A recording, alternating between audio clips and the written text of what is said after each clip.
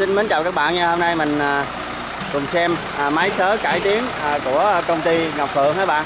Thì ở đây thì ảnh cải tiến lại cái động cơ là Kubota 105 đó các bạn. Thì tất cả là đều cải tiến lại ha. Thì ở này là anh anh khách ở đang ở Phú Thọ vô để xem máy các bạn. Đó. Thì chân là, chân xích đều là 70 ha. Đó. Hộp số thì có sự cải tiến lại hết luôn. Là cốt thì à, rất là lớn. Nói chung là đồ rất là êm ái ha. Đó. thì à, động cơ là động cơ của Nhật à, V3008 là động cơ Kubota à, là 105 ha.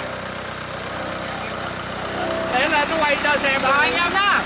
à, anh anh à, Đang vào trong trung tâm gốc của trong này. tới tới xem rồi anh anh ở Phú Thọ à, mà cái cái xe này anh, anh lái thấy sao anh?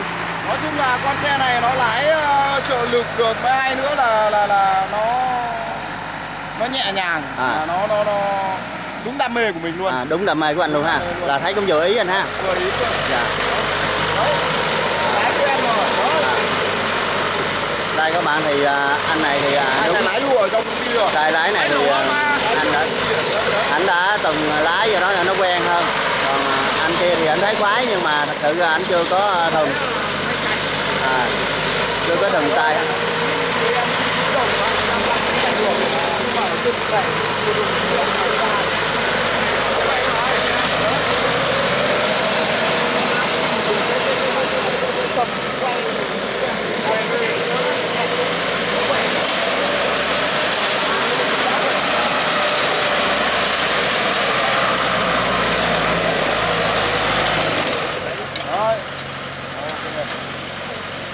Đó thì à, động cơ Kubota W3008 là thường bà con thường à, gọi là Kubota 105 đó các bạn. Thì à, cái động cơ này thì khỏi khỏi phải nói ha. À, chân 70 xích 70 à, kiểu dáng của Thái Lan. Do đó nên là à, rất là ok ha. Cái dàn chân cái dàn thường này thì anh em xem nó rất là kịch cộm dày dặn các bạn. Đó rất là kịch cộm dày dặn. Rồi ở trước thì có ben ben để trợ lực ủi đầu luôn các bạn? Đó bên trợ lực. Ủi đầu luôn, gắn sẵn luôn. Này à, gắn à, vừa vừa sớ và vừa dàn ủi luôn các bạn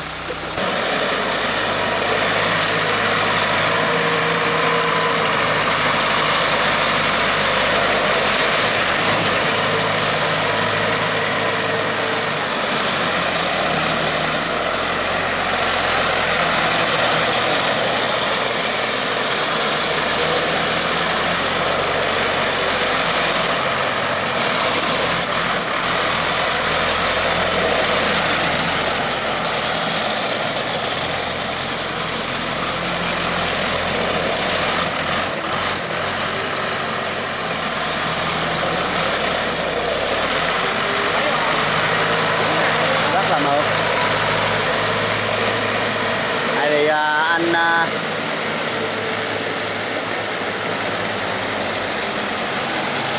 à, thì bên à, công ty là cải tiến lại do đó nên là lái rất là mượt các bạn.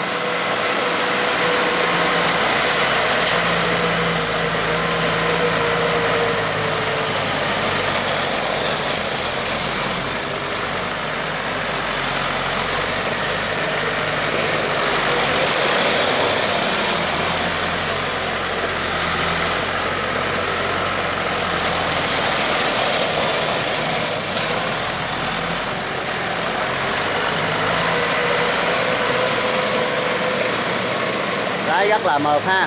À, ảnh à, bên công ty ờ, cải tiến cái hộp số lại à, lái à, rất là mượt luôn. À, như các bạn thấy quay quay đầu cái đường bán kính rất là à, nhỏ ha.